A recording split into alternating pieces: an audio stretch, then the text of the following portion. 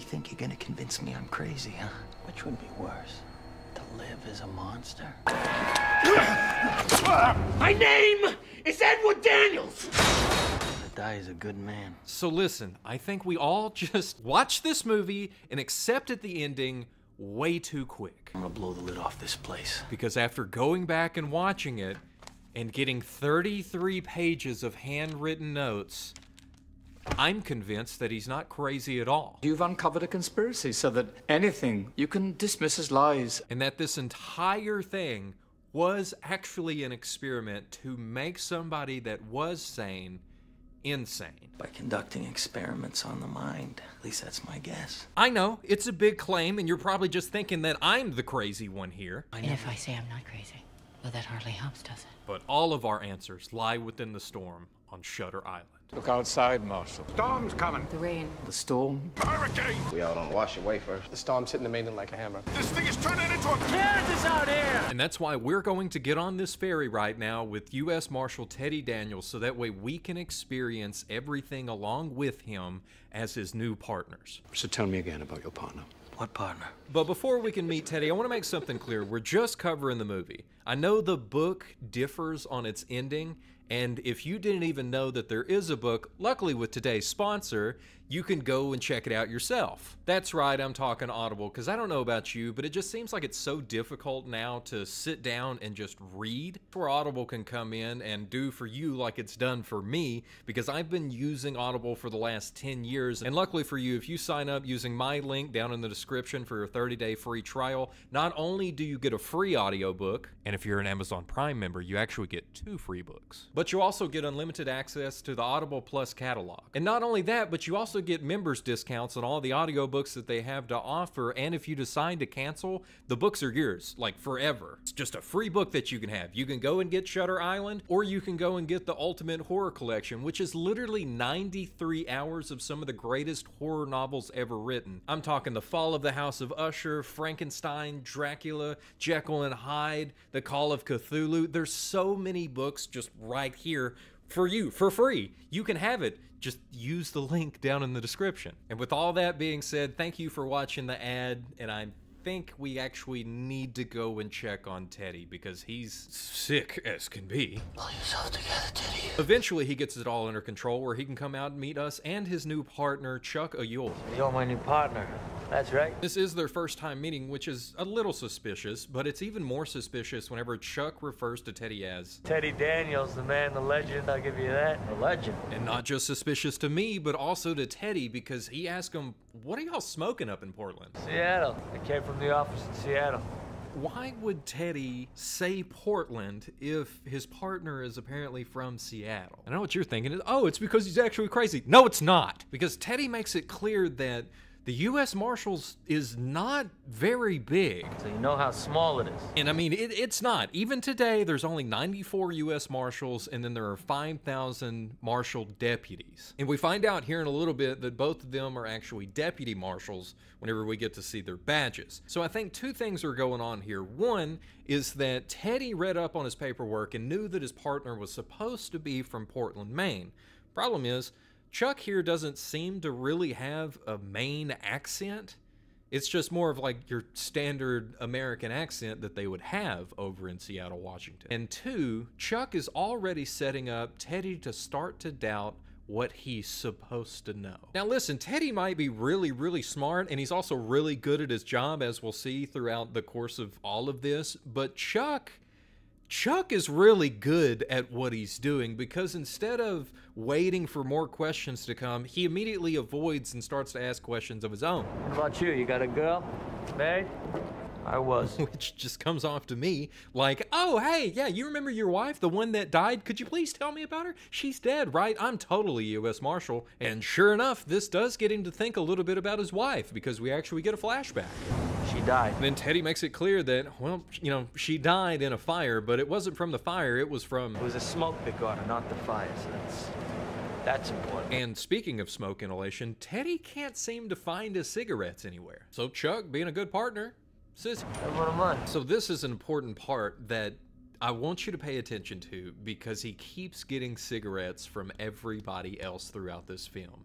He never has his own, and it always seems like something bigger is actually going on. Because it is, okay? Because there is something bigger going on. But one thing's for certain that we know right now somebody took his cigarettes. Government employees are rocket flying. And we also know that we are currently headed for a mental hospital. For the criminally insane. And since they're getting closer to the island where the asylum is, the ferryman now comes out to tell them whenever we get there, if you guys would hurry up and get off of the ferry, because I need to set off as fast as possible. Why?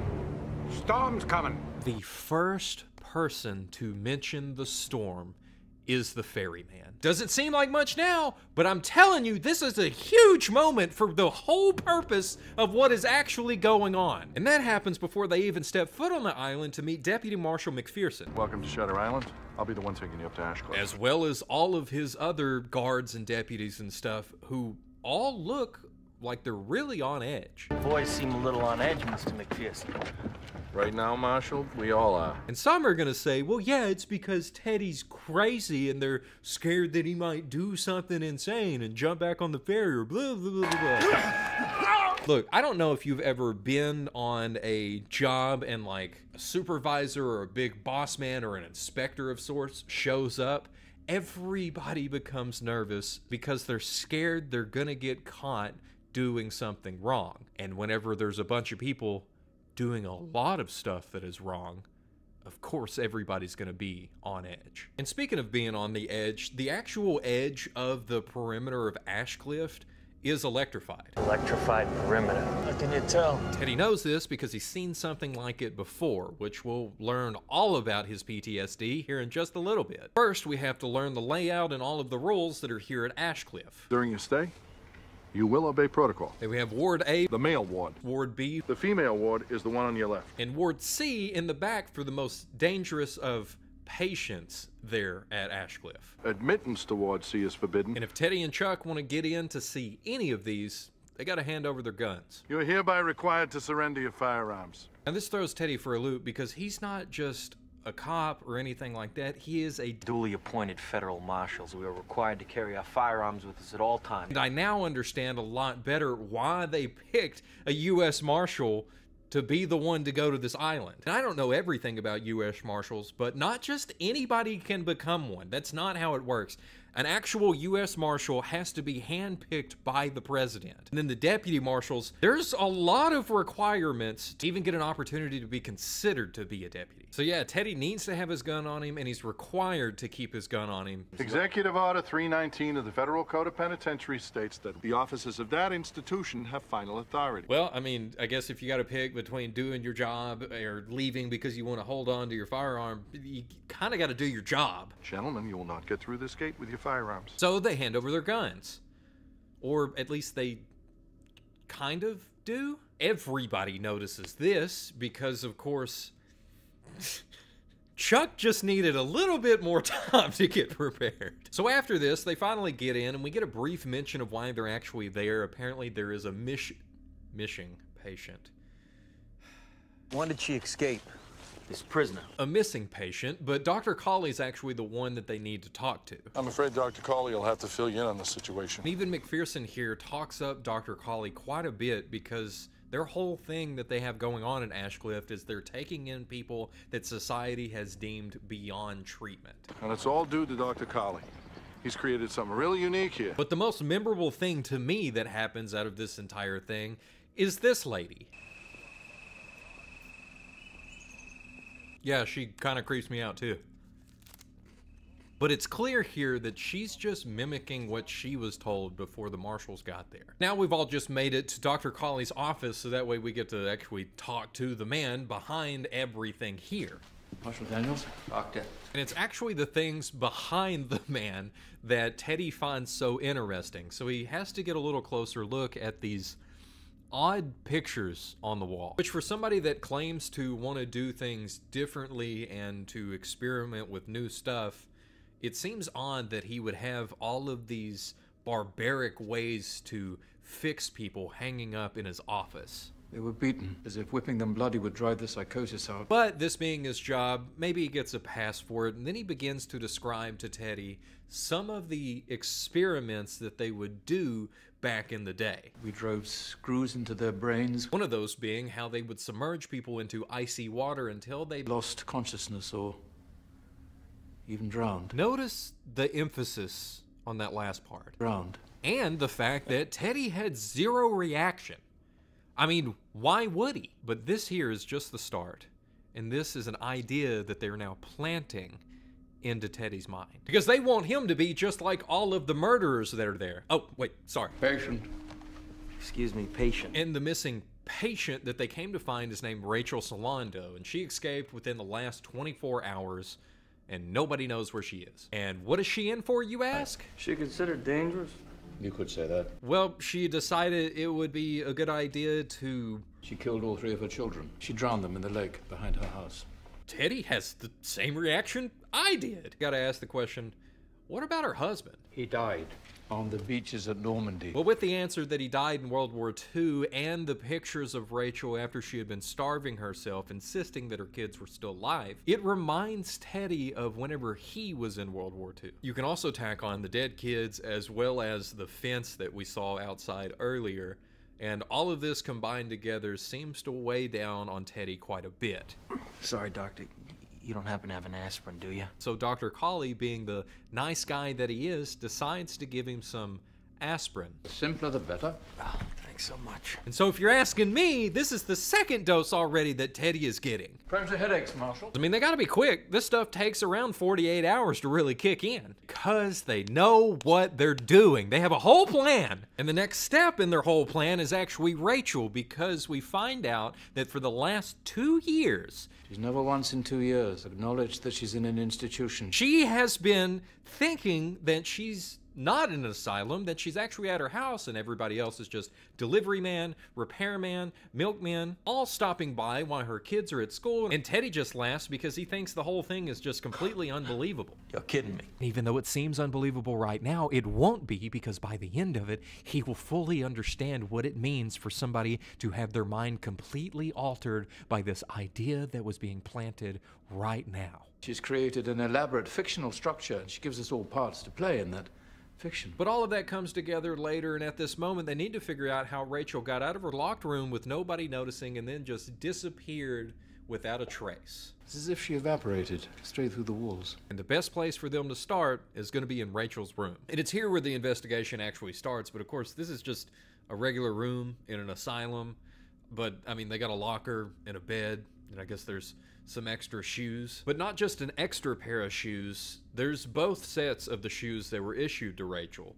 So that means that she's just out there barefoot. Come on, Doc. She couldn't get 10 yards in that terrain. But that's not even the weird thing that they find in the room. Teddy actually sees a part where the tile has been lifted up and he finds a note underneath. The law of four and who is 67? I have no idea. Who is 67? And I would say that I was with Chuck and Dr. Cawley on this one, but they they have this look of I, I don't know. Never heard of before, but it seems suspicious. What do you think it could mean? I Think it's just random scribblings? But that's just the thing. Dr. Cawley won't leave it there. He has to clarify that, yeah, I mean, she did, you know, do a bunch of bad stuff and is actually insane, but she also is really smart, so it's probably not just these random scribblings like you think it is. There's probably a deeper meaning, and you should try to figure that out. Oh, no, not at all. Rachel's smart. Brilliant, in fact. After gathering this evidence that was totally not planted by Dr. Cawley or Chuck, it was definitely not planted. Excuse me, doctor, but we're gonna have to hold on to this. They then learned that Rachel somehow slipped by seven orderlies without any of them noticing. She turns invisible? What you mean is a good question because is she even real? Was she ever real? Who is Rachel Solando? And depending on what you think happens in the end will be what determines your answer here. But before that, we're going to have to see the records of all of these orderlies to see who is in on it. Doctor, we're gonna need access to the personnel files of all the medical staff. Because there is no way Rachel got out of her room without some help. You will comply. All or I can risk- say is I'll see what I can do. And I mean, Cawley might as well just say, no, not going to happen. Uh, you're here to investigate, but you're not getting anybody's information and I'm not going to help you except for walk you around. Which I mean, I kind of get why Cawley's being the way that he is because he does have to clear everything through the board, which Teddy demands to meet with them now. I'll assemble them in the common room after dinner. And in the meantime, that means Teddy, Chuck, and McPherson are going to go search over at the bluffs to see if Rachel is out there or if there's any evidence that she ever existed. And I mean, these guards out here doing a great job. Totally doing everything they can to find her. But that's not the thing that caught my attention. It's the fact that they're all wearing raincoats, which makes perfect sense. There is a storm coming. It's kind of raining on and off. You know, over here on the island, we've got a little bit of showers, a little bit of sprinklage going on, but just keep it in mind. And this is the other thing that you need to keep in mind. What about those caves down there? Have you checked them? I mean, nobody could actually make it up there to those caves, and like they already found out. She's got no shoes. So, since all of the guards have got this side handled really well, Teddy and Chuck set off with McPherson to the other side, kind, kinda, to see the lighthouse. What's that tower? It's an old lighthouse. Those guards and that big fence make you really wonder what's up there at that lighthouse? Sewage treatment facility. Oh, yeah, that makes perfect sense that they would keep that guarded. The guards already searched inside it. So hear me out for a second because we know what happens. We know that he shows up and he goes up and it's just a desk in the lighthouse. So why would they be guarding it? And on the surface, that doesn't make any sense. But they could be holding Rachel in there or they could actually have some other stuff going on up there some crazy experiments on the on the brain going on you know because for this entire time they are like an entire day day and a half ahead of Teddy in everything that he does. Teddy sees this as suspicious, and we can see here he's really good at his job. Sir, I didn't see nothing. Glenn, tell me the truth. I maybe went to the bathroom. I mean, he's over here asking all the questions and getting all the answers and just full on intimidating people and full on interrogating everybody in the room until he gets the answers that he needs. Does anyone here know what she did before that? She was in a group therapy session. And one of the answers that he gets is about Rachel the night before, whenever she was in her therapy group, and she actually said, She was worried about the rain. which is another time that somebody else has mentioned the weather to Teddy. And right after this, we run into a problem. Yes, Dr. Sheehan led the discussion. Dr. Sheehan? Because now Teddy's wondering who's Dr. Sheehan and where's he at? He left on the ferry this morning. His vacation was already planned. It's just the funniest thing watching this back because you see Chuck over in his chair just cowering, like, oh, please, nobody look at me. I am not here right now. I'm on vacation. But even with that, Teddy doesn't leave it there. He needs a phone number because he's got to talk to Dr. Sheehan. I mean, that's that's literally why he's there to do this job to figure out what happened to Rachel. Do you have the phone number for where he's gone? So they try to go make a call at what I'm going to call the call room over here, where you've got this caller guy trying to call into the main line so that way they can then call Dr. Sheehan. I'm sorry, sir, but it's all down, all the lines. The storm's hitting the mainland like a hammer. They can't because of the storm. You'll understand later why this line frustrated me so much and made me really believe that this is all just a setup to convince Teddy Daniels that he is actually this other guy named Andrew Laeddis. And it doesn't end there because right after this, Cawley goes to leave and he tells him, I'm going to be at my house around 9. You guys should stop by then. And Teddy says, Great, then we can actually talk. And Cawley says, We have been talking, Marshal. Teddy's been asking questions anyway, and Cawley has just been planting answers that won't sprout until later. So time passes, and Teddy and Chuck pull up to this lovely house where they hear just this beautiful music playing, and Teddy knows who it is. Who is that, Brahms? No. Which immediately begins to remind Teddy of his time in World War II. It's Mahler. Because Mahler is actually a Jewish composer who was a very big deal around World War II, and I am nowhere near well versed enough to be able to explain to you anything about him or his lovely music, but there is an entire history with him being Jewish and a specific political party that I don't think I can actually say the name of here on YouTube. So if you want to know more, you're going to have to go look him up. But right now, as Teddy looks up, he sees Dr. Naehring. And so they have a little bit of banter back and forth, and Cawley asks for everybody's drink order. Teddy says that he doesn't drink. Your poison, gentlemen. Right, if you got it. Soda or ice, please. Which leads into a kind of heated discussion between Dr. Naehring and Teddy himself. Isn't it common for men in your profession to imbibe? What's that? Iced tea in your glass there?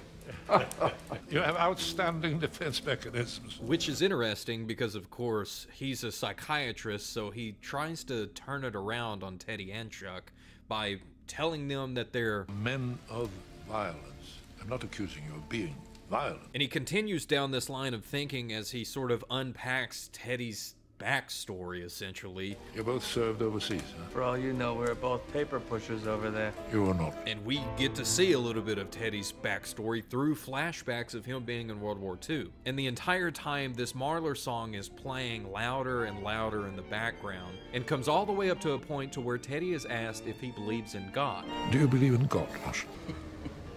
no, I'm quite serious. Now, where I would just respond, Amen, thank you, Jesus, Teddy shows us once more how good he is at his job as he picks up on Naehring's accent. You ever, uh, seen a death camp doctor? Konzentrationslager. Then he calls him out on it, saying that his English is really good, but it's not perfect. English is sehr gut, fast perfect.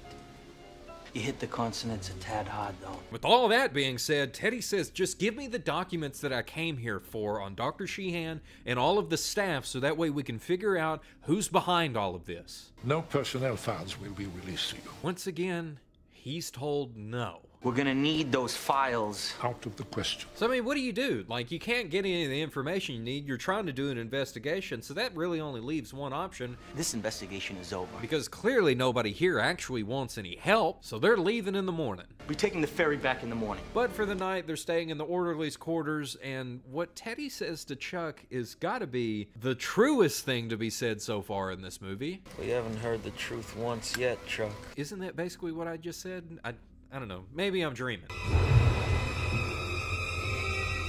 Okay, maybe it's not me dreaming, maybe it's Teddy dreaming. Dreaming about his wife, whose name we don't find out until later in the movie, but it's actually Dolores, if you forgot. Jesus, are you ever sober anymore? Here she's complaining a lot about his drinking, and his response is that he Killed a lot of people in the war. And I don't even know how many movies now that I've covered that have weird dream sequences in them, but I I like movies like this. And it gets weirder because she begins to talk about how Rachel is still there and Laeddis is still there. She's here. You can't leave. So is he. and proceeds to encourage Teddy, saying that you can find them, you can do this. Don't forget the good times. Don't let the bad times overtake. Remember that time that we went to the lake and how good it was. I was so happy. Then there's just water dripping and spilling out, and it's very confusing for everything that's going on right now. You have to let me go. And even more so whenever she turns into ashes and then just disappears as the entire house is now on fire. But instead of having ashes in his hand, whenever he looks down, they're just dripping with water. And it's because they're literally just dripping with water. Like he's soaking wet. There's a there's a leak in the roof that made him soaking wet. So listen, I know what you're thinking. Oh, well that was the place where she actually drowned his kids and all of this thing happened. I, I need you to understand something on how dreams work and how all of this is played out. First off, uh, she asked about his drinking because he turned it down and was basically interrogated on it by Dr. Naehring. Noctor? Did I say Noctor? Doctor. Then, of course, she brings up Rachel, which is what he has been thinking about the entire time that he's been there, is trying to find her. And then she brings up Laeddis, as we find out later is like his actual purpose for being there is to find Laeddis. And we also know that she died whenever the apartment caught on fire. It was a smoke that got her, not the fire. So all of these things, plus him being soaking wet from the leak in the ceiling, and these ideas that have been planted about Rachel and what she did to her kids, as well as what Dr. Cawley has planted earlier, resulted in this dream being this weird conglomeration of everything that his brain is trying to process, which is what dreams are Duh. But if you don't agree with me on any of that, and you just think that I'm playing up this entire thing, all we got to do is look outside at the big storm that's going on. Because, yeah, Teddy's soaking wet, but it's actually the orderly that says something about it.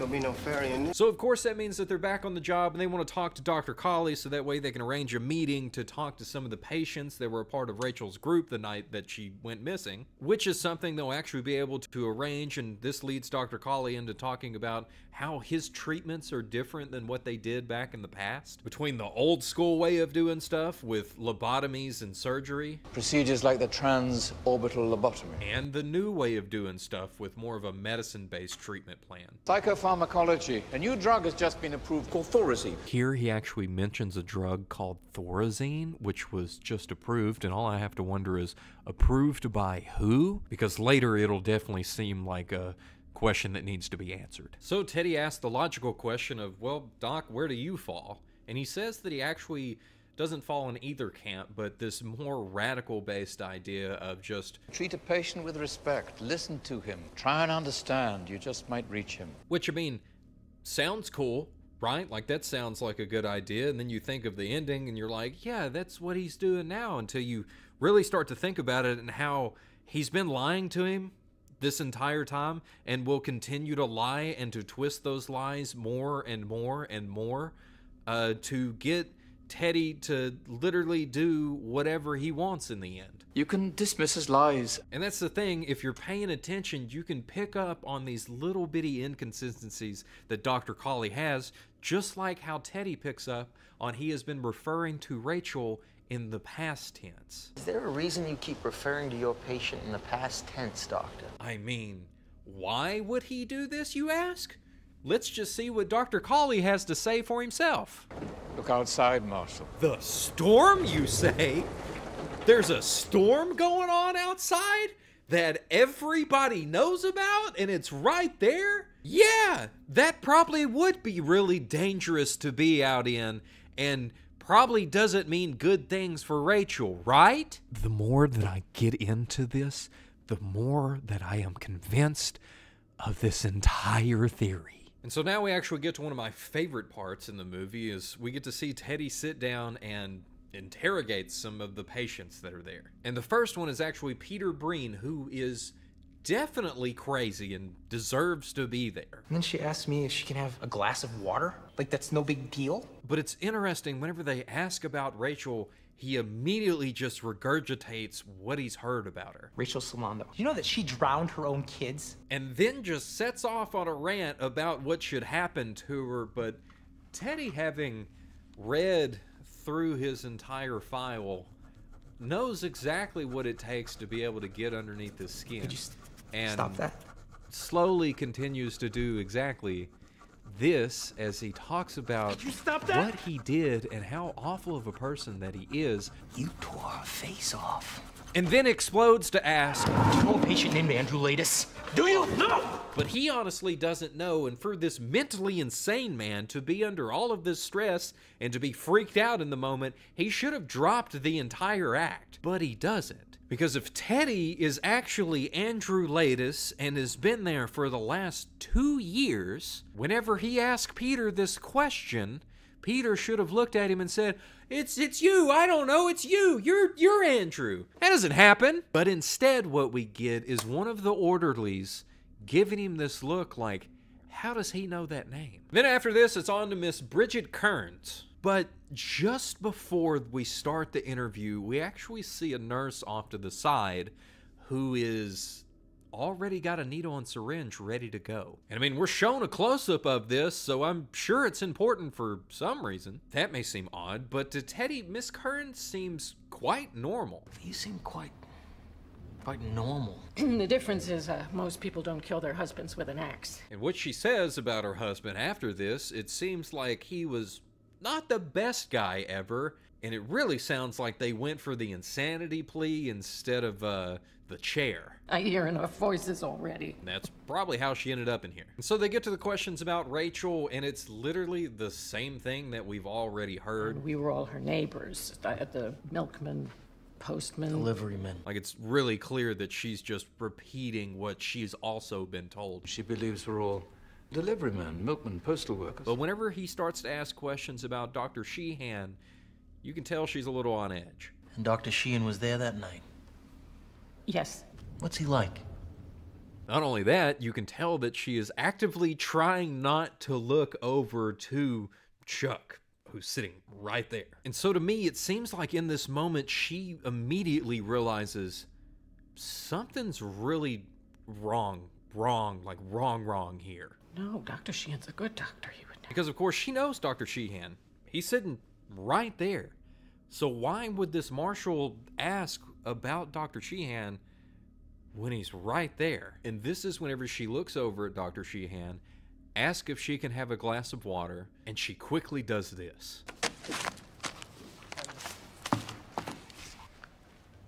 Then, whenever Chuck gets back, he gives her the glass of water, and it's interesting because, of course, she doesn't know that he's currently going by Chuck.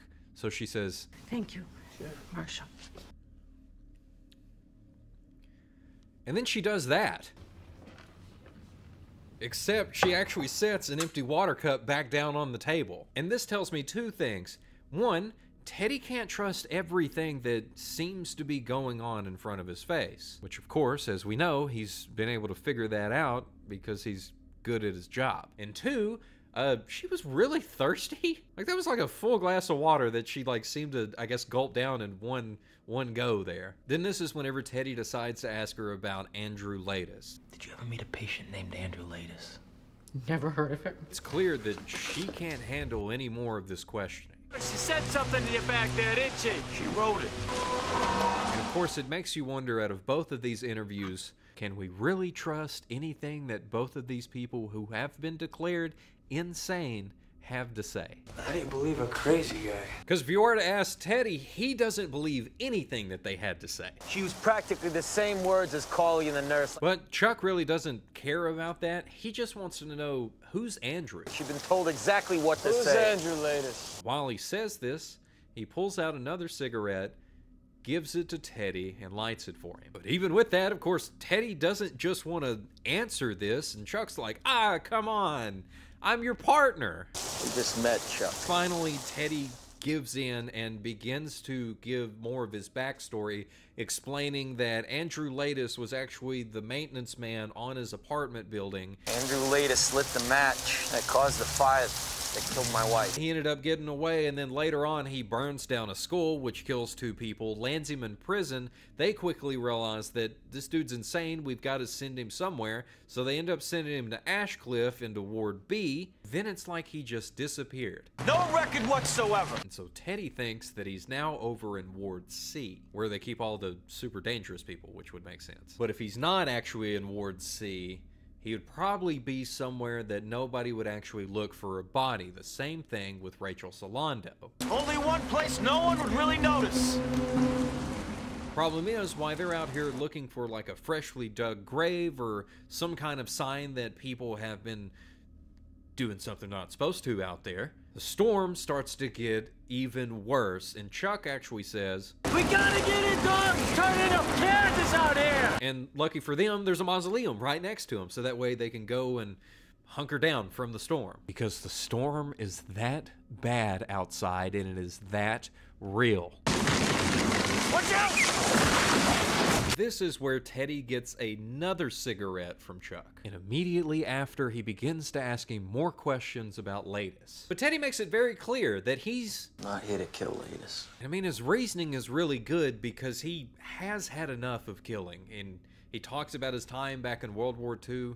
We see a little bit of his PTSD that he's got going on because it's it's not good. And it's interesting because he doesn't just say that they killed the guards, but instead he calls it It wasn't warfare, it was it was murder. I've had enough of killing. But if he's not there to kill Laeddis, then why is he there? His answer is such a pivotal scene within the movie and to the, the whole theory. But it's not just Teddy. Chuck also gets in on it here in a minute. And so Teddy's whole reason for taking this job in the first place is because he started looking into Laeddis. That led to Laeddis's disappearance, and then he started to look into Ashecliffe, But he noticed every time he started to ask questions, he could never get any answers out of anybody. A lot of people know about this place, but no one wants to talk. Eventually, this leads him to finding out that they're actually funded by a special grant from the House of Un American Committee. UAC? Which is a real thing that was founded in 1938, so this is not just some sort of made up thing just within Teddy's head. Now, of course, Chuck also knew exactly what it was as soon as he said it. How exactly fighting the commies from an island in Boston Harbor? How indeed, and Teddy actually thinks that they're experimenting on people by conducting experiments on the mind and learning everything that they can about the mind and how it works to either create their own soldiers or to drive the enemy insane. At least that's my guess. It's like some MK Ultra kind of stuff. Chuck thinks this entire thing is crazy because why would you not? It sounds insane. But Teddy actually found somebody that used to be at Ashecliffe and talked to him. The guy's name is George Noyce. And George's story is really interesting, and it's something that I never would have guessed because he got a chance to go and do a psych study, he testing out a new product. Toothpaste. So he starts seeing dragons everywhere. Chuck, how do you know that? Like the amount of confidence that Chuck says this with, Teddy doesn't pick up on it because of uh because of something. So Teddy continues on talking about Noyce, saying that after that happened, he went crazy and he ends up in Ward C. They release him after one year. Then, whenever he gets out, he goes and stabs three more people, and instead of taking the insanity deal, he says, No, no. Begs the judge for the electric chair anywhere but a mental hospital. He ends up with life in prison in Dedham. And it is here that Teddy finds him and is able to ask him questions, and it is very clear that there is something much bigger going on. It's pretty clear from what he tells me. They're experimenting on people here. And I mean, this is a lot, and so Chuck's got to ask, you know, how do you believe a crazy guy? How do you believe a crazy guy? Teddy responds, Crazy people, they're the perfect subjects. They talk, nobody listens. So, because of all of this, Teddy doesn't want what was happening at Dachau in World War II to start happening here in his own country. And just like then, he will do anything he has to to stop it. Now, now I find out it may be happening here on our soil. For him, it's not about getting revenge on Laeddis, but it's all about getting enough information to go and expose Ashecliffe and everything that they're actually doing to the world. I'm gonna get the proof. I'm gonna go back and I'm gonna blow the lid off this place. This is exactly why they had to make him crazy. Because crazy people, they're the perfect subjects. They talk, nobody listens. This is where Chuck points out something really interesting. He started asking around about Ashecliffe, and then suddenly they need a U.S. Marshal. Because there's no way a place that would have all of this stuff going on would just have this as a coincidence. There's got to be a bigger picture. You were looking into them, they were looking into you. They have us both here now. This is when McPherson shows up with his entire crew looking for the marshals because, of course, they're on an island. They're gonna find them. There's nowhere for them to hide. So they go get in his ride so he can give them a ride and also be protected from the storm. And they can make it over to Cawley's, and whenever they get out, he says, Get right off. Dr. Cawley wants to talk to you now. And that it's turning into a hurricane out here. This thing is turning into a hurricane. So they do that. They go in, they get showers, and they get some new clothes because, of course, theirs is soaking wet and the new clothes that they get are actually the orderly whites. That's something really nice in a prison gray if that don't work for you. But here, Trey also says two things that really catch my attention. That is, if we all don't wash away first. So he brings up the storm, and I'm afraid your uh, smoke's pretty much done for. And it's so. something about this look, this knowing look about the pack of smokes, because there's something extra going on. Then, right after this, they head to Dr. Cawley's office where they actually interrupt a meeting that is going on. And just what is this meeting about? The storm! It's about the hurricane that is fixing to be here. We're on an island in the middle of the ocean during a hurricane. They're trying to figure out what to do if it floods over in Ward C. They're trying to think of how to keep everybody safe and I guess who's worth saving and who's not. But the important thing that I want you to get from this moment, this scene, is that Teddy's not in the room when they're talking about the hurricane. If the facility floods, they'll drown. You know that. Because this is a real thing that they have to take seriously, or else people are going to get hurt. And that's not just the guards, it's not just the orderlies, but it's the 42 patients that are in Ward A and B, and also the 24 patients that are over in Ward C. 24 human beings. I put all 42 in wards A and B in manual restraints as well. And it's right after this is mentioned that Teddy actually speaks up because something has caught his attention. I- am sorry, Doctor. I-, I-, I just have one quick question. And it has to do with a note that was found in the room earlier. The Law of Four, I love that. Am I crazy, or does that sound like it's an inside joke that is just the funniest thing to him and probably everybody else in the room? That is correct, yes. But not to Teddy because he can do simple math.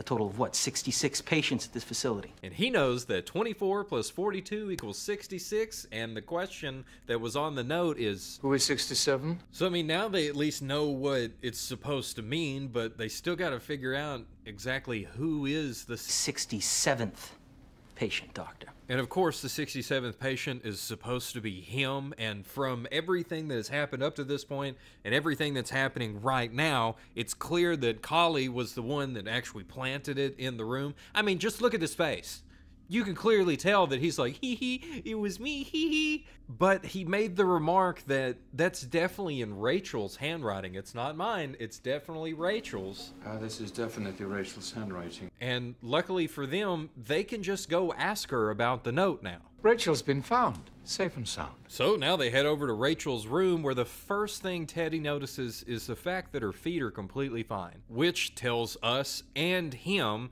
that uh, she was hidden for this entire time. She didn't go outside. She didn't get her feet all cut up. She's not really even that dirty or anything. Who are these men? But Teddy's a much better detective than I am, and so he just, once more, does his job really well. But it's one thing to ask somebody questions that's this insane, and it's another to actually get some answers. But Teddy just starts with the best question of, What did you do today? I made breakfast for Jim and the children and I sent the children off to school. I decided to take a long swim in the lake. This this line, this line gets me. I see. Which it also gets Teddy too, but that's the whole point is that this entire idea of the lake and what she did is supposed to be making its way and burrowing deeper into his brain. And I feel like it has mine too from how much I've looked into this movie at this point. And after that? But to push it even further, Rachel starts to get really weird and slowly walks up to Teddy. I thought of you. And then you realize that she thinks he's. Don't you know how lonely I've been, Jim? Which was her husband, and it makes sense on why this is her reaction to seeing him again. God.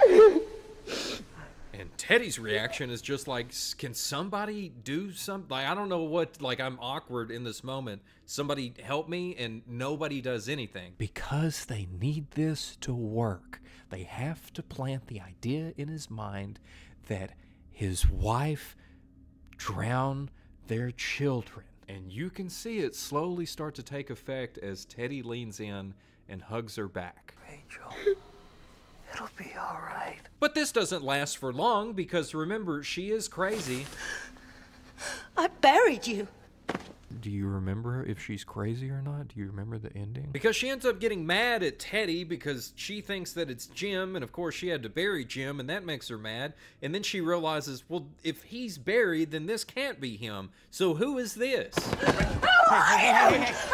and this is finally the moment that people actually jump in to do something and help Teddy. Which I mean by help, they just get him out of the room and take him back to Dr. Cawley's office so they can talk about what in the world just happened. But the only answers that we really get is that Rachel was found up next to the lighthouse. We found her down by the lighthouse. Because of course she was. And it's here when Teddy starts to not feel good. I find it interesting because in response, Dr. Cawley begins to list off what is happening. Photosensitivity, headache sometimes. But he makes it sound like they're side effects of something else and of course ask him, are you having a migraine? And to help out with that, he goes and gets some pills.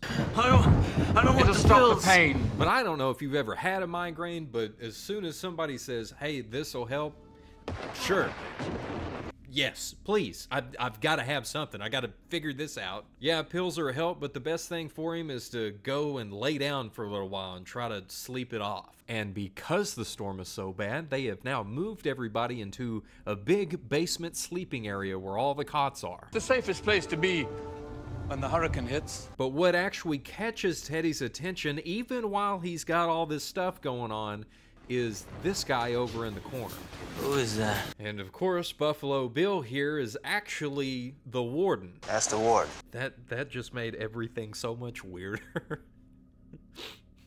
And pretty quickly, Teddy ends up passing out, and we get another weird dream sequence. This one here is clearly the most detailed, and it still does what the last one did in recapping everything that has happened throughout the day. Because to start off, we have this PTSD inspired nightmare that he has as he's walking back through his time at Dachau, seeing just all of these bodies just everywhere. But there's one that not only catches his attention now, but has been catching his attention every time we visit this scene, and it's of a mother and her daughter. And as he passes by, he ends up turning back to see that it's now Rachel, but the little girl has stayed the same. Then she ends up opening her eyes and saying, You should have saved me. You should have saved all of us. After this, Teddy's then walking in Cawley's office, and just like he did with Dr. Naehring, whenever he looked around the chair, he now sees Andrew Laeddis. No hard feelings, right? He walks over, gives Teddy a cigarette, then lights it for him, shows him Teddy's flask, and says, Well, something for later, because I know how much you need it. And then suddenly, Laeddis is just switched out with Chuck, and Chuck's over here saying, Clock's ticking, my friend. We're running out of time. And then a woman screams, and Teddy turns to see that it's Rachel, and she's covered in paint. And her kids are at her feet, and she looks at Teddy and asks him, Give me a hand here. And reluctantly, Teddy picks up the same little girl that he saw back in World War II as she asks, Why didn't you save me? And because of what we know happened in Dachau, he responds honestly when he says, I wanted to, but by the time I got there, it was too late. And then we have Teddy and Rachel standing together in the water as they watch the kids. And he's doing the same thing that he did when he was in Rachel's room by taking the role of her husband, Jim. And I know Jim died in World War II, but this is a dream. Everything's figurative, and it's just a way for his brain to process what all has happened during the day. That's the exact reason that they needed this hug and everything to happen in Rachel's room, because Dr. Cawley even says that. I didn't want to interrupt. I thought she might tell you something. Yeah, to give him answers answers that are like sinking their teeth into his brain. Because to recap his dream, he talked about what happened in Dachau. He talks about his time in World War II. He talks about Andrew Laeddis. The drinking has also been brought up, and of course, Rachel was a huge part that forced him into the role of Jim earlier, and this is just a more exaggerated example of that here. And we'll talk more about the little girl later because right now, Teddy's waking up. Storm is going crazy outside, and somebody's walking in, and who who is that? So now Dolores is just here walking around, which is weird, and she says that Laeddis is still there, and Teddy needs to get him, and then she encourages him for just a second. And then Teddy wakes up and it's the next morning. And here's the thing this movie is extremely detailed. That's the reason this video is so long. But because of the detail, I'm hesitant to say that he's still dreaming. Because we see multiple dream sequences that he has throughout the movie, and not a single time does it happen where he's having the dream in the actual location that he's currently at. And as we'll see here in a little bit, this is not the last time Dolores walks in as he is awake. And if you're watching closely, you realize that this is all he says. Why are you all wet, baby? I know. Which would definitely be weird to hear somebody whisper next to you while you're trying to sleep, and probably something you would tell whoever is running this entire experiment. Because, of course, it comes up later, and he's shocked that it happened. What did you say? You know exactly what I said. Because he said it out loud in front of an entire room full of people. At this point, some of y'all are probably thinking I need to be thrown in Ward C, and luckily we get to go to Ward C. Nice day for a stroll, don't you think? Towards sea, for example. Because the storm and the storm damage is so bad across everything. What was that?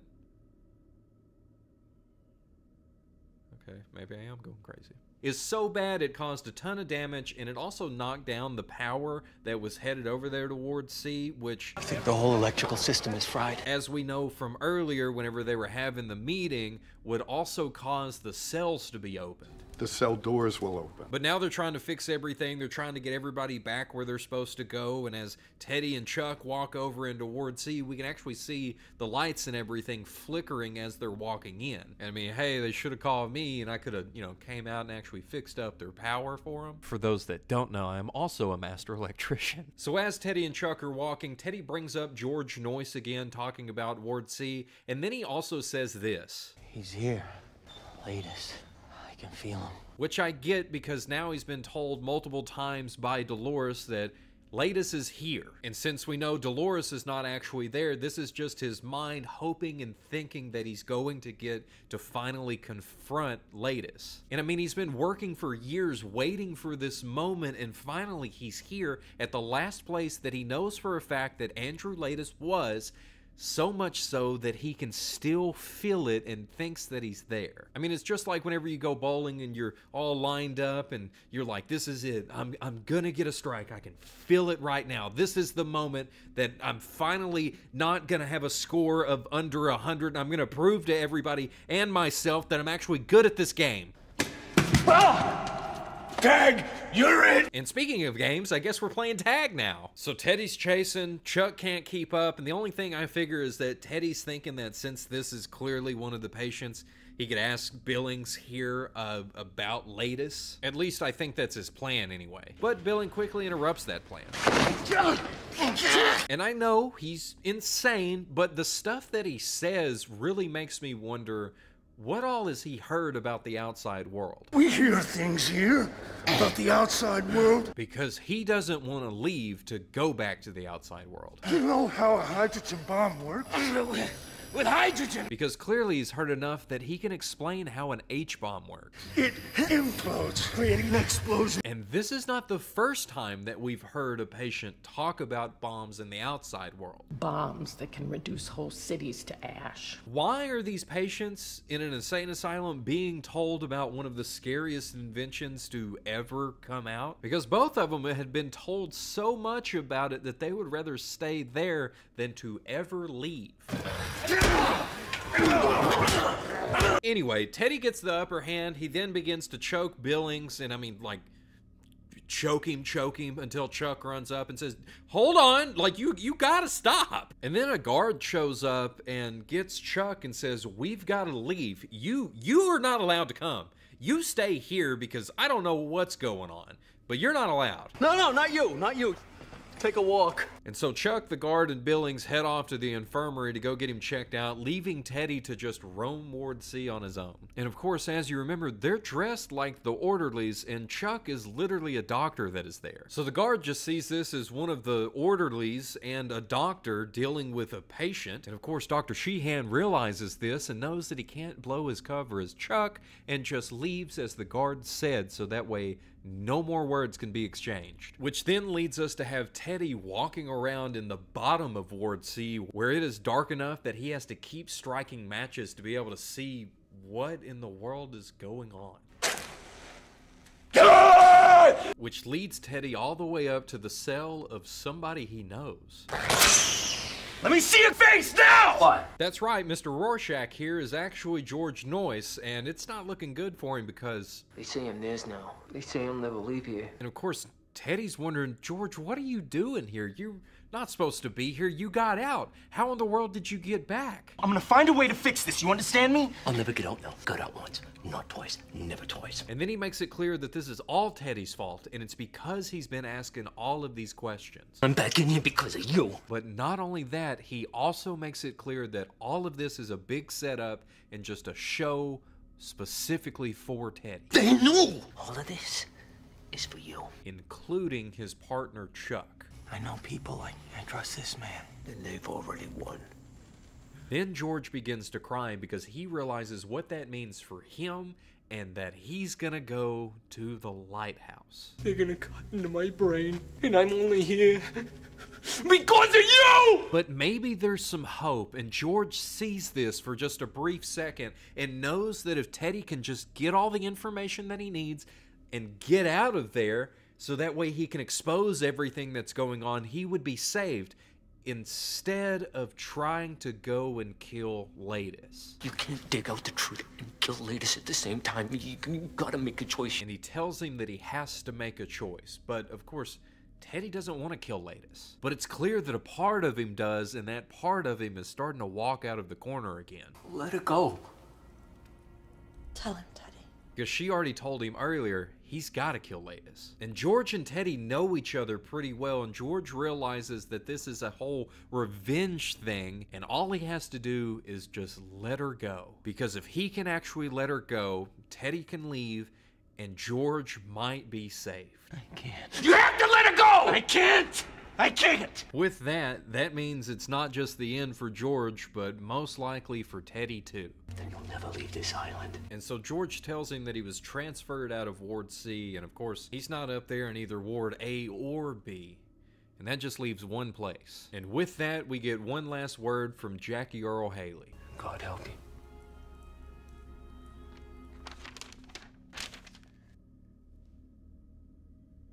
I'm reading my notes and I just this theory is so good! And I say that because this didn't hit me till right now, so just listen. Teddy and Chuck end up catching up together as they're walking through the woods, and Teddy, of course, is headed to the lighthouse. And it's clear that Teddy is now very skeptical of Chuck, and Chuck is like, hey, I found this paperwork on Laeddis, which honestly wouldn't help them all that much because even Teddy had already found that before he got there. And so Teddy thinks something's up and he tells him, I'll just look at it later. Yeah, take a look.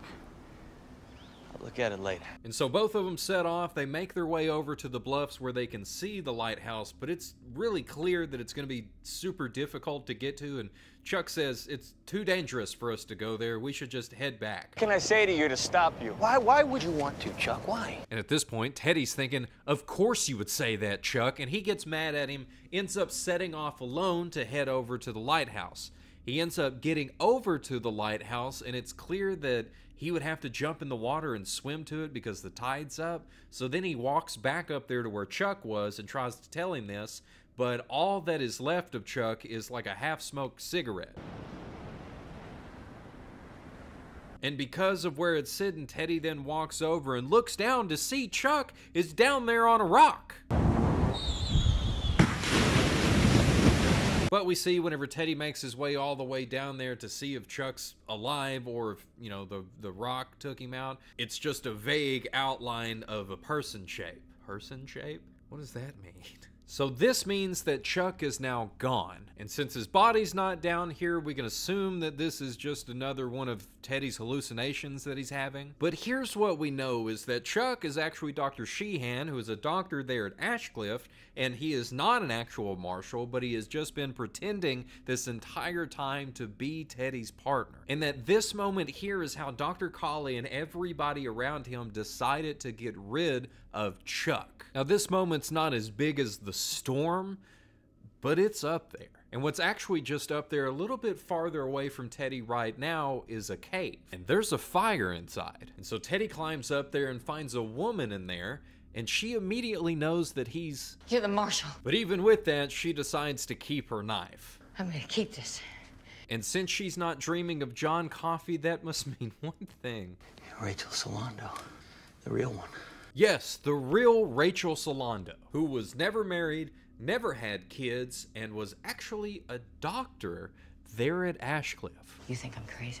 Which it is hard to believe her since they've done so much work to make Rachel Solando out to be crazy. No, no, no, I And if I say I'm not crazy? And of course, she can't just say that she isn't crazy, because that's what a crazy person would say. It's the Kafka's genius of it. And once you've been declared insane, they're then able to point at anything that you do and say, yep, that's why they did that, because they're insane. And anything you do is called part of that insanity. So, of course, Teddy asks, what happened? So she begins to tell him that she ended up asking too many questions, starting off with the large shipment of psychotropic drugs. Yeah, I had to look down at that word. Don't judge me. I asked about the surgeries too. And she doesn't just mention the lobotomies, but she actually goes into detail about how they do it. Then go through the eye with an ice pick, pull out some nerve fibers. Makes the patients much more obedient. And she also talks about electric shock therapy as well as how the brain is the center of where pain actually comes from. The brain controls pain. The brain controls fear, empathy, sleep, hunger, anger, everything. So her theory is that they are attempting to erase people's emotions, to erase any feelings of love that they've ever had, to erase the feelings of pain that they've experienced in the past or that they can experience and then also erase all of their memories, making them the perfect soldier. They're told what to do, and then they go and do it without asking any questions or having any feelings about it. And of course, Teddy says, but all of that would take years of research, hundreds of patients to experiment on. And then she also says that 50 years from now, everybody will be able to look back and know that this is where it all started. Here, this place, is where it all began. We tested patients on Shutter Island. But Teddy says since he's been gathering the truth, they can't stop him from leaving. He's a marshal. I was an esteemed psychiatrist. Didn't matter. Which I mean, she's got a point. But I think the even better point that she makes here is that they're going to use his past trauma to convince people that he just snapped. Point to some event in your past and say it's the reason you lost your sanity. And that they'll all end up saying, Of course he cracked. Who wouldn't after what he'd been through? They can say that about anyone. They're gonna say it about you. And then she asks about his head. Are you having funny dreams? Funny dreams lately? Trouble sleeping? Yes. All of the above. Absolutely. And then ask if he's taken anything. The aspirin. Jesus. And then goes in on the food that he's been eating, the coffee that he's been drinking, and. You tell me at least that you've been smoking your own cigarettes. From that, she then lists off all of the side effects that are fixing to come along with what they have been drugging him with this whole time. Palsy comes first. Seen any walking nightmares lately, Marshall? And some of y'all over here are just thinking, ah, oh, nah, he's he's definitely crazy. He definitely did all of that stuff. What is this, huh? What is this supposed to be? An elaborate way to get him to stop smoking? Huh? Because I don't think lying to a crazy person and making them paranoid about cigarettes is going to be the best thing for you to do to actually get them to stop. And I would say just leave it to the professionals, but the fact that everyone knows what is going on in the lighthouse makes me think otherwise. Tell me what goes on in that lighthouse. Brain surgery. They learned it from the Nazis, kind. After this, Teddy ends up falling asleep in the cave. She wakes him up and says, You gotta leave because I'm fixing to head out. I move all throughout the day different spot every single night. They think that I fell to my death off of the bluffs and I'm not going to let them find me. But of course, Teddy's like, why don't you just go to the dock and like get on the ferry and leave? The only way off the island is a ferry and they control it. And then before they go their separate ways, she quickly reminds him Marshall, you have no friends. And now, being alone, Teddy makes his way back up the bluffs and over to a road where he actually gets picked up by the warden. We were wondering when you'd show up. And along the ride, the warden talks a whole bunch about violence and being violent. Not violent. Yes, you are. You're as violent as they come. I know this because I'm as violent as they come. But the two biggest things that we need to get from this is that he briefly talks about the storm, and then he also says this. Charlie thinks you're harmless, that you can be controlled, but I know different. And it's interesting because it seems like the reality is actually both that he can be controlled, but he is also still violent. If I was to sink my teeth into your eye right now, would you be able to stop me before I blinded you? Give it a try. That's the spirit. And speaking of Dr. Cawley, Teddy actually finds him coming out of like a group meeting with all of the patients and orderlies. And it's interesting because everybody there seems to be upset or uncomfortable that Teddy's even there. For sure, yeah. So of course Teddy asks, "Hey, what all's going on?" And Cawley begins to explain that there was an unidentified man that attacked a patient over in Ward C, and then also went and talked to a paranoid schizo named George Noyce, and then says that George Noyce was actually beat up by a patient two weeks ago because of the stories that George had been telling. Keep all of that in mind for here in just a minute, because Teddy doesn't know what to think about it either, because of course it was him. And I guess since he seems a little bit on edge right now, Cawley decides to offer him another cigarette. No thanks, I quit. Cawley says, I guess this means you'll be taking the ferry, and Teddy responds, Yeah, we got all we came for. We, Marshal? And then they go through this whole thing about him not having a partner. You don't have a partner, Marshal. You came here alone. That he's actually been here alone all this time. And while Teddy is trying to process what he just heard, Cawley's speaking this entire time, and it's interesting because what he's saying sounds a lot like the truth, but then it's also veiled with just a thin layer of psychiatry speak. People, yourself included, don't understand. So as soon as Teddy seems to have actually processed this information, Cawley looks at him and says, So what were you saying about your partner? What partner? I mean, come on. They're literally trying to drive him crazy and make him doubt everything that's going on around him. And that's what's so funny to me because that's like the plot. No matter what side you're on, uh, at the ending, both sides end up saying the same thing with just two different meanings. That they drove him to believing that he was crazy and denying what they had set up as his reality. And this is one of those scenes that makes me doubt that he was ever crazy in the first place. Because Teddy goes and grabs his tie, and whenever he's trying to sneak out the back of the facility to actually go to the lighthouse, he accidentally runs into Dr. Naehring. Going somewhere? And of course, Dr. Naehring realizes this isn't good and goes to pull a syringe to stab him with, which I mean, hey, that's not cool. But luckily, Teddy gets the upper hand and actually gets the sedative away from him. What you going to do? Kill me? And then Dr. Naehring begins to talk about trauma and says this. Wounds can create monsters, and you, you are wounded. Which I mean, is kind of right on the nose, especially whenever it's coming from one of the head guys at this entire facility and looking Teddy directly in the eyes and telling him, You're exactly what we need to make a monster. I agree. Yes. So, of course, Teddy stabs him with the needle. Then he goes for a run. He blows up a car. He goes for a little swim as well. He knocks out a guard. He takes his gun. He goes up all three of the levels, doesn't find anything except for whenever he makes it to the top level in the lighthouse, he can hear somebody inside. And he kicks the door open when we have Dr. Cawley sitting there at a desk and he says, Why are you all wet, baby? That catches Teddy off guard, but he wants to first check to make sure that nobody else is here in the room. Checks everything out, sees if anybody's hiding anywhere, and Dr. Cawley actually tells him, Hey, that gun's not loaded. We made sure of that before you came up. But with that, Teddy does notice that there is a handgun sitting on the desk. And also on the desk is a phone or a call box or something to where Dr. Cawley can talk to the people outside of the lighthouse. And he says that Dr. Sheehan has made it, and he tells him, go check on the guard first before you come up. Then, right after this, Dr. Cawley asks Teddy, How are the tremors? How are the delusions? Not bad. They'll get worse. Teddy, knowing all about it and the side effects that he has from being drugged, says that he talked to Dr. Solando and that she's actually still alive. She told me about the neuroleptics. Did she know? Which Cawley just says, oh, well, she isn't real, and. Your delusions are more severe than I thought. And then Cawley tries to make it clear to Teddy that he's not on any drugs. It's the fact that he's having withdrawals from not being on chloropromazine. Chlorpromazine. I'm not a fan of pharmacology, but I have to say, in your case, Chloropromal what? Which is the drug that he's been taking for the last two years. Past two years, you, you, you've had somebody slipping me drugs in Boston. Because he's actually been a patient there for the last two years. You've been here for two years, a patient of this institution. You really think you're gonna convince me I'm crazy, huh?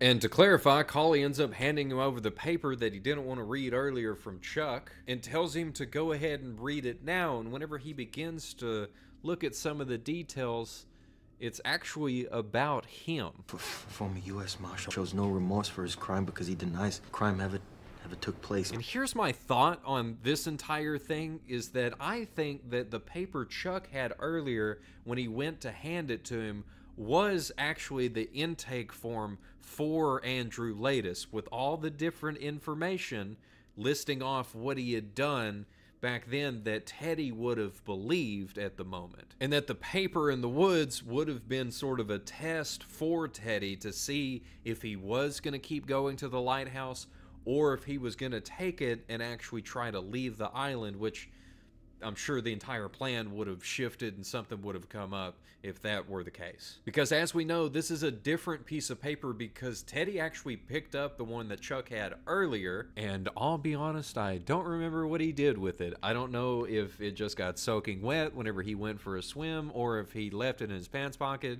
and changed. I I don't know, but he doesn't seem to have it now and this paper that's sitting here that Cawley has is clearly a different one because they could always just make another one. It's not a big deal. But Teddy doesn't care about any of that. He just wants to know where is Chuck? I've had enough. Where's Chuck? Where is he? And at this, Cawley gets up, walks over to the board, and begins to explain It's your rule of four. And begins to call Teddy Andrew. Violation of focus, Andrew. What do you see? Because we have Edward Daniels and Andrew Laeddis. And it's the same thing with Rachel Solando and Dolores Chanal. It was Chanal, am I correct? So Cawley's explanation is that Teddy, yes, his name is Edward, but he goes by Teddy for the entirety of the movie, has come up with this entire anagram and backstory, and that his name is actually Andrew Laeddis, 67th patient at Ashecliffe. He's you. And then he also did the exact same thing for his wife.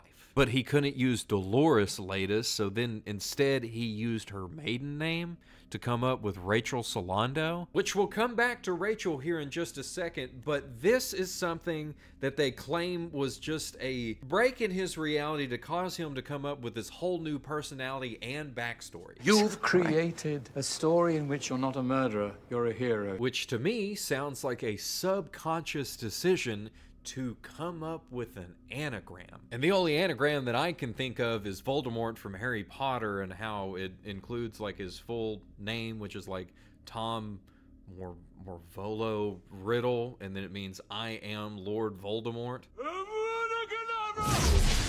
Which didn't just happen, it was an active decision to choose that. Because I'll be honest, if I went through something like this and my complete mental state broke, I'm not gonna go with whatever an anagram for my name would be. Probably just go with like Robert Johns or something like that. Because you're expecting me to believe that this guy that is mentally insane has a subconscious that is able to create such a detailed reality that it is hard for me to wrap my head around how how big and detailed it is, right? Like it's not like the Rachel Solando that we saw earlier that was calling him Jim. She just believed that everything was still fine and that there was nothing wrong and that she wasn't actually in an asylum and she was just in a neighborhood. Seriously, Doctor, how is it possible that the truth never gets through to her? Which I could see that, you know, just sort of ignoring what's going on around you.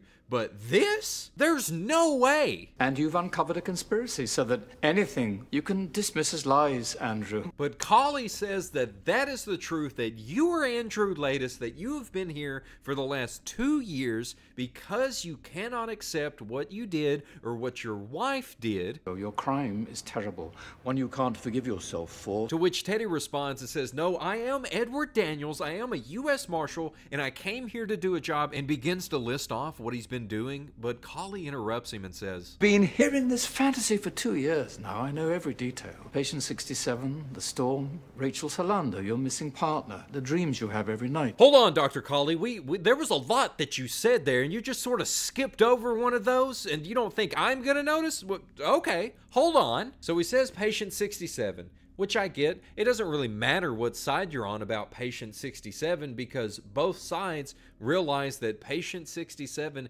is going to be Andrew Laeddis, which is supposed to be Edward Daniels. The 67th patient at Ashecliffe, he's you. And then we also have Rachel Solando, which in a weird way they're trying to play it off as she never existed and that it's actually just another personality that he also created for his wife. So not only did he create his own complete other personality, but he also did it with a full backstory for his wife. But we run into a problem with the Rachel in the cave because we know she's supposed to be the real Rachel Solando that was a doctor who was there. Before I was a patient at Ashecliffe, I worked here.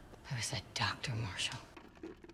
And if you are going to go the Dr. Cawley route and say, well, she didn't exist, that was all just in his head, then that means that you have to ignore all of the facts and new information that she gives to Teddy. And of course, it doesn't make any sense for your own hallucination to give you new information and stuff that you didn't know because it's also a part of you, so you can't give yourself new facts and learn new things. That's not how this works. Because she explains one of the drugs and all the side effects that it has. And opium based hallucinogens. Psychotropic drugs. She also explains a bunch of the surgeries and stuff that are going on and how a lobotomy is actually done. Then go through the eye with an ice pick. And she goes into a ton of detail about how pain is processed through the brain. The brain controls pain. And if you want to give Teddy the credit to say that he's that smart and he already knew all of this information, then we also have to look at the fact that not only did he make a new personality for himself as Teddy Daniels, but he also made one for his wife as Rachel Solando, and then he also made a second one of Rachel Solando, the real one, the doctor that was on the island. You act like insanity is catching. That just sounds more insane whenever I say all of that out loud. Then Cawley also mentions your missing partner, which was basically something that was forced on him by Chuck disappearing and even Dr. Cawley agging it on whenever he had said, So tell me again about your partner.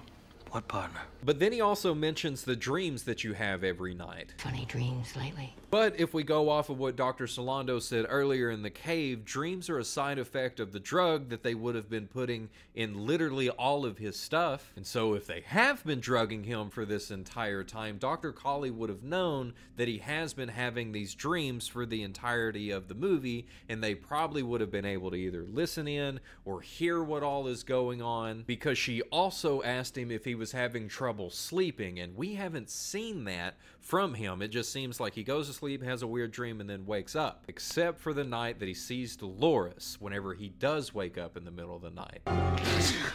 So it would make sense that he probably is having a fitful sleep and mumbling stuff in his dream to where everybody around him and anybody listening in would be able to pick up on the little words that he's saying throughout the course of his dreams. I wanted to, but by the time I got there, it was too late.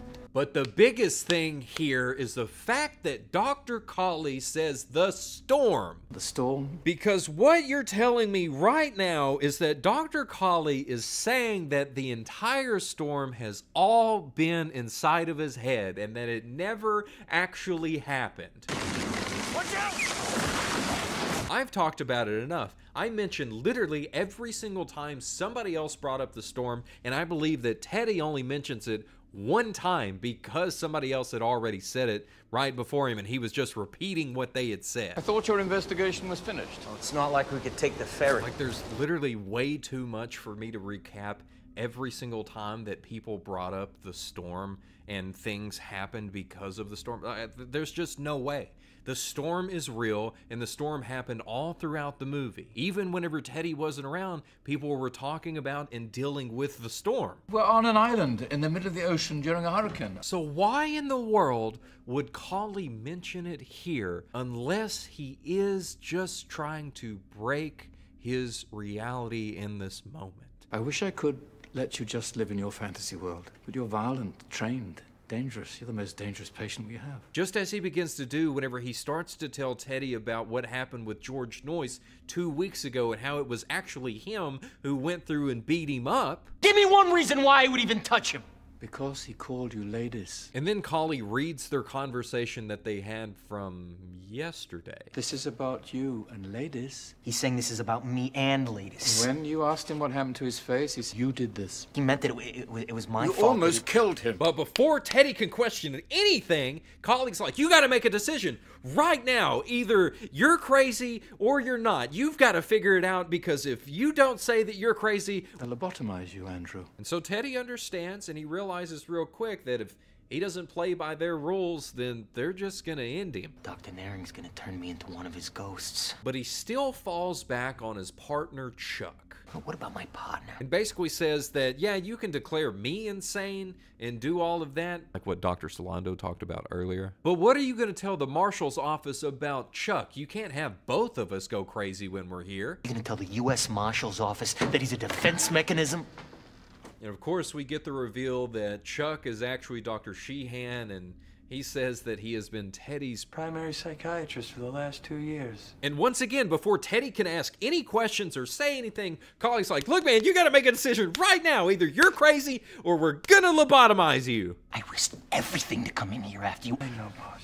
We're running out of time here, Andrew. And then they just admit it to Teddy that every single thing that they have done and every single second that we have seen of this movie has been to get Teddy to believe that he is actually Andrew Laeddis. That I could construct the most radical, cutting edge role play ever attempted in psychiatry. Because they thought if they could just let him play out his fantasies that he's been having, then maybe it would come to the logical conclusion that none of the things that he thinks that are going on on the island are actually happening. So Cawley looks at him and says, So after two days, of which he regarded the entire time and had very restricted access to literally everything on the island to the point that we were able to stay ahead of you for the entirety that you were here on the island, so why don't you just show us where all of our crazy experiments and all of the surgeries and all the drugs are? Why don't you just show us, huh? And Teddy doesn't have any answers, so he just sits down and listens to him until he grabs the gun and then just points it right at Dr. Cawley and. But Cawley's okay. Andrew, please don't. And it actually turns out that the gun is fake and that even the blood that showed up behind Dr. Cawley was all fake, as well as the gunshots themselves. We're telling you the truth. And then Dr. Sheehan jumps in and begins to talk about Dolores and what she actually did. And of course, this makes Teddy mad. Teddy mad? Is that right? This makes Teddy mad. That's right. And of course, this makes Teddy mad. Why does that sound so weird? And of course, this makes Teddy mad to the point that he attacks Dr. Sheehan, accuses him of lying, and then says, You drugged the cigarettes. You drugged them! And this is when Cawley jumps in again and begins to hold up pictures of each one of Teddy's kids. I guess in this case, I should say Andrew. And just before showing the last one, Dr. Cawley explains that the next one is his daughter, and that she's the girl that you dream of every single night, the one that tells you you should have saved them. Shows his daughter, whose name is Rachel. Her name was Rachel. Are you going to deny that she ever lived? And if you're asking me, I'm going to deny that this Rachel ever existed and that this is still the little girl that he saw at Dachau. Because I've already talked about the fitful sleep that he was having up all the way to this point. And of course, there's the dreams that they know that he's having because of the drugs that they're giving him. And I mean, listen, which one's more of a stretch that he mumbles a little bit whenever he's having a nightmare because of all of this stuff that is going on, or everything else that I've listed off before this. I mean, given the choice between the two, I think I'm going to pick the fact that he probably said, Oh, I should have saved you in his restless sleep, of which they would have been watching because they've been watching him this entire time. And I hear you, you're saying, Well, how did they get a physical picture of this little girl from Dachau? The same way that the real gun that he thought he had in his hand broke apart into two pieces whenever he grabbed it and realized that it's a toy. So his brain on all of these drugs and everything that's in his system that's causing him to think that the gun is real is making him see what he already believed would be there. The little girl that he has seen all the way from World War II, Dachau, that has been most recently in his dreams. Why didn't you save me? And of course, it's also really weird to me the fact that her name is Rachel. We also had Rachel Solando, the crazy one, and then we also had the other Rachel Solando, who is actually a doctor. There's there's so many Rachels, which goes along with the whole thing of slowly planting an idea. Because when Cawley says, "Will you deny that your daughter Rachel ever existed?" Andrew, are you? Teddy gives in. And you know the next part and how everything plays out. And it's through him giving in that Teddy dies and Andrew fully takes over as his mind recreates everything that he thought happened. Please, God!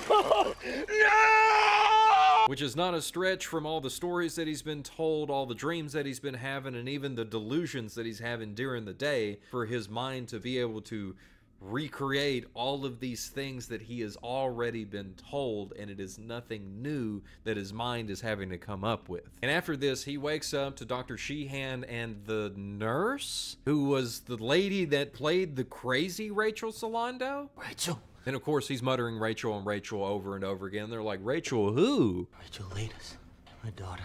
And they're like, that was a close one. It's like, dang, I mean, y'all are still messing with him after all of this? Why are you here? Because I killed my wife.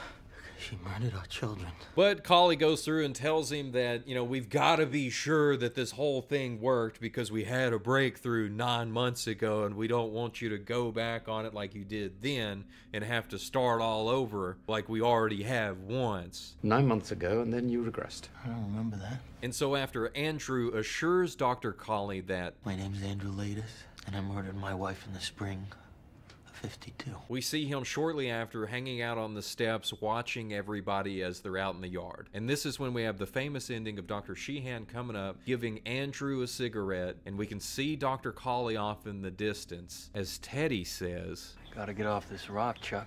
Get back to the mainland. Whatever the hell's going on here, it's bad.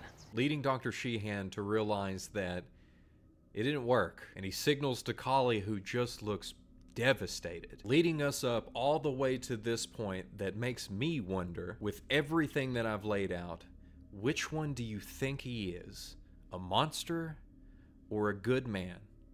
Andrew Laeddis or Teddy Daniels? Because I have my answer. So now it's to you. Which one would be worse? To live as a monster, or to die as a good man. Teddy?